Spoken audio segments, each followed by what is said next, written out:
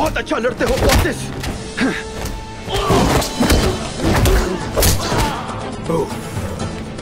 छोड़ूँगा नहीं। उधर देखो, मेरे अलावा भी यहाँ अच्छा लड़ाकू है।